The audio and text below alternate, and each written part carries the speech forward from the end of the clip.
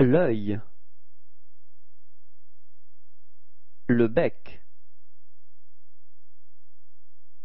la paupière, le genou, le mollet, la patte, le corps, le cou, la tête,